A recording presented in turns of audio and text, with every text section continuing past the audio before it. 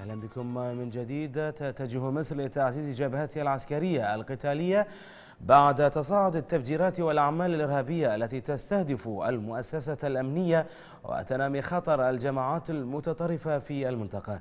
فجاءت صفقة شراء مصر مقاتلات حربية متطورة من فرنسا في القريب العاجل لمواجهة المخاوف التي تواجه مصر وفرنسا من صعود الجماعات المتشددة في ليبيا ومصر.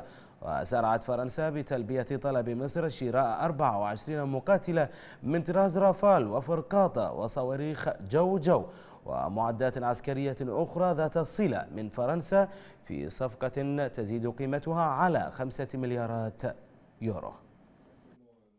بعد مماطلة فرنسية امتدت لسنوات أعطى الرئيس الفرنسي فرانسوا أولوند الضوء الأخضر لإنجاز صفقة بيع 24 طائرة حربية من نوع رافال إلى مصر التي أعلنت الحرب قبل ثلاثة أشهر ضد الجماعات التكفيرية في سيناء.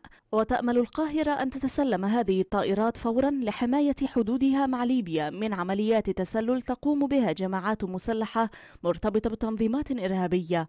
وكانت تقارير إعلامية غربية ذكرت أن الطائرات الحربية المصرية تقوم بعمليات هجومية داخل الأراضي الليبية لمساندة الجيش الليبي في حربه ضد التنظيمات الإسلامية المتحالفة مع الإخوان المسلمين.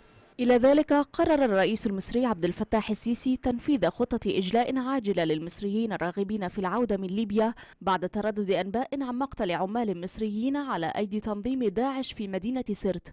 ونشر داعش صورا للعمال المصريين المختطفين في ليبيا والذين يهدد التنظيم بإعدامهم ذبحا. وأظهرت الصور العمال وهم يرتدون ملابس برتقالية ويقفون مكتوفي الأيدي فيما يتم اقتيادهم نحو شاطئ بحر ثم يظهرون وقد وضعت أسلحة بيضاء على رقابهم في وضع الذبح.